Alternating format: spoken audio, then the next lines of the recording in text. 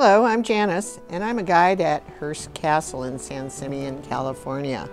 I'm standing just off the large living room in Casa Grande in the west vestibule, which is the main entrance to this home. I'm here today to show you French artist Jean-Léon Gérôme's Pygmalion and Galatea. Jean-Léon Gérôme was a painter, sculptor, and teacher.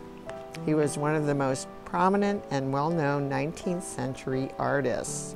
His historical and mythological compositions, such as Pygmalion and Galatea, were painstaking works, often melodramatic and frequently erotic.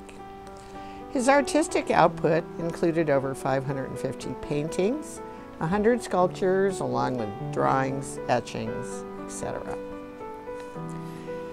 He first executed this subject in four paintings in 1890.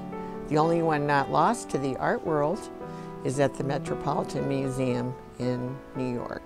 He created this marble sculpture and exhibited it at the Paris Salon in 1892. Mr. Hearst acquired this piece at the April 1910 New York's auction sale held by the American Art Association in New York. Based on Book 10 of Ovid's Metamorphoses, Pygmalion was a sculptor who carved a woman out of ivory and found his statue was so beautiful and realistic that he fell in love with it. The goddess Aphrodite, feeling pity for him, made the statue come to life. This statue is six and a half feet tall, carved white marble, originally tinted a light pink hue on Galatea from the waist up to show her coming alive. Only traces of the color remain.